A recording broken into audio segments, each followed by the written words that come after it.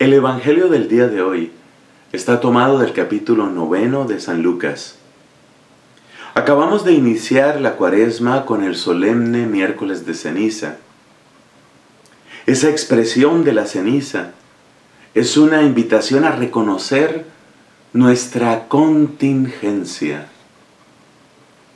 Hoy es un buen día, a la luz del Evangelio que ha sido proclamado, capítulo noveno de San Lucas, Hoy es un buen día para recordar lo que significa esta palabra, contingencia. Esa palabra pertenece al ámbito de la filosofía, pero que nadie se asuste, todos podemos entenderla y entenderla muy bien. Cuando hablamos de las cosas contingentes, estamos refiriéndonos a todo aquello que en este mundo existe y que no era indispensable que existiera. Es decir, cuando examinamos el mundo a nuestro alrededor y cuando miramos nuestra propia historia, sacamos una conclusión. No era indispensable que yo existiera. No era radical y absolutamente necesario que yo existiera. Es decir, el mundo hubiera podido desenvolverse muy bien sin mí y sin ti y sin el otro y el otro y el otro y sin aquel árbol y aquella nube y aquel pájaro y este pez. Descubrir la contingencia es descubrir que la explicación última de las cosas que nos rodean y la explicación última de nuestra propia existencia no está en una especie de ley inexorable, como quien dice esto tenía que suceder, no. No tenía que suceder.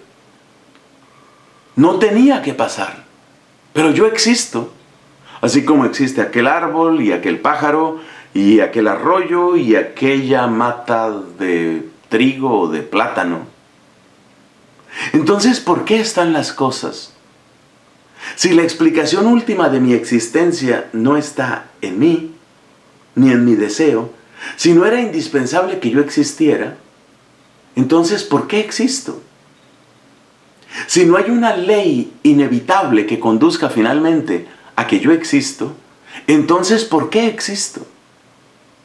Ahí me doy cuenta que tiene que haber una voluntad, una voluntad que muestre la explicación, una voluntad que explique por qué yo existo.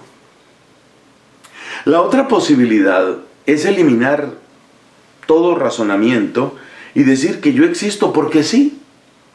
Es la posición que toman algunos ateos. El mundo es una especie de azar, como una caja de balotas que se sacuden y si de repente sale un número, por ejemplo 2017, pues es una coincidencia, es azar. Muchos miran su propia existencia así como que finalmente un arreglo de átomos, moléculas, fuerzas, leyes, es lo que ha producido que ellos lleguen a existir. Y se miran únicamente como fruto del azar. Los que así piensan también llegan a la conclusión de que la vida radicalmente no tiene un propósito último. ¿Por qué?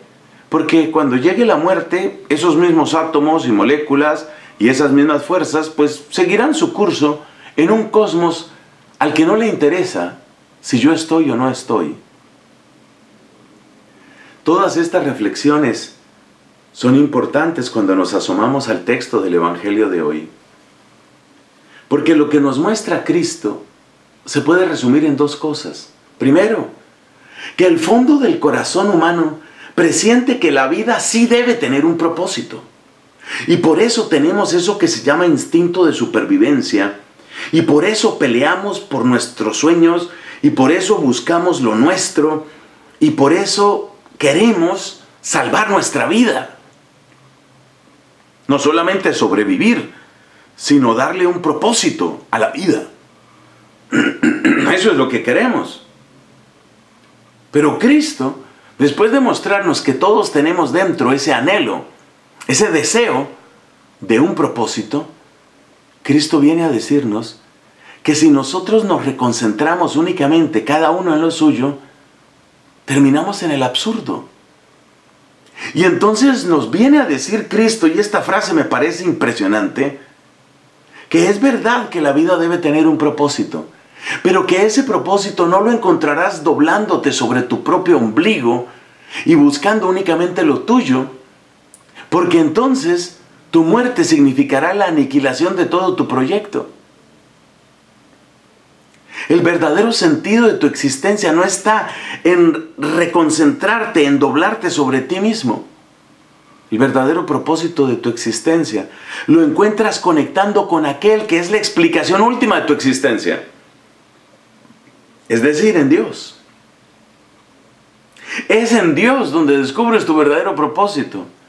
Porque así como no puedes explicar tu existencia únicamente a partir de ti, así tampoco puedes explicar el sentido de tu vida a partir de ti.